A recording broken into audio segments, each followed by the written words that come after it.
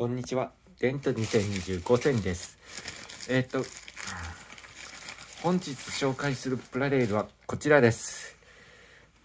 大阪環状線のプラレール大阪環状線の323系です。こちらが加藤、加藤製品、加藤製品です。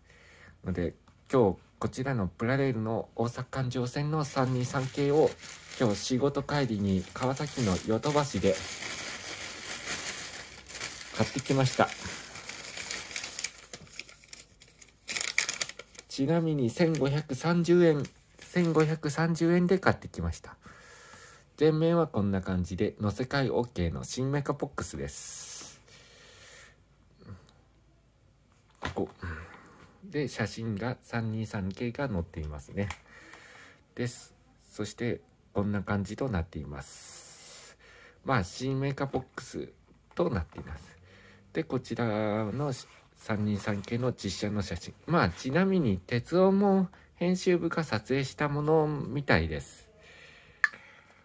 ではこれ開封準備ができましたので早速開封したいと思います。いざオープン。新品のプラレールを。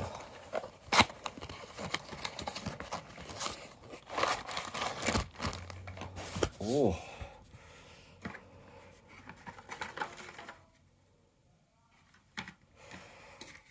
出てきましたね。でプラレッシャカードはこんな感じとなっています。で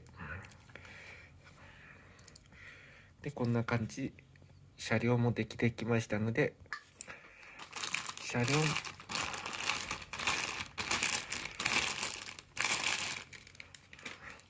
まず動力車の先頭車はこんな感じ。1号車です。こんな感じ。うん。323おおかっこいい。うん。えーてなんで今日大阪環状線の323プラレールで買ったかっていうと父が98年から2000年の3月まで父が大阪の単身赴任をしてて大阪環状線の大阪環状線の沿線に単身赴任したことがありますので今日プラレールで買ってしまったっていう感じです。おおかっこいい。動力車は 1, 1号車となっています。まあ加藤のと比較したらああ8号車ですね。失礼しました。8号車加藤のと比較したらこんな感じとなりなっています。続いて続いて循環車はこんな感じ。塗装乱れはないかな。で加藤では加藤では2号車でここんな感じとなっています。続いて最後は後尾車。後尾車はこんな感じ。お塗装乱れは良かった。塗装乱れはないです。こんな感じで。で最後最後は1号車はこんな感じとなっています。うんやっぱりかっこいいですね。あまあこん合計3両が揃いましたので連結させていきます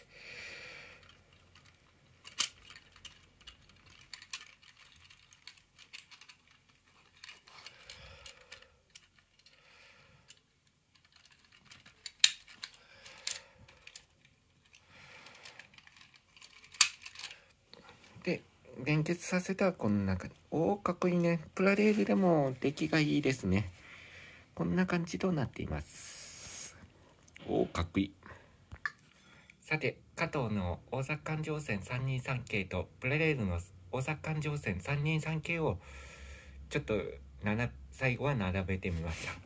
もうこんな感じとなればさやっぱり大阪環状線も買ってよかったです。またプラレールも徐々に増やしたいと思っています。ご視聴ありがとうございました。今日の配信動画は、大阪環状線の323系プラレールをゲットしたっていう配信動画でした。よければチャンネル登録、高評価、そしてコメントもぜひともお待ちしております。また、プラレールや NH フィギュアなど買ったら、また順次配信動画で出していきます。それではまた次回の動画でもお会いしましょう。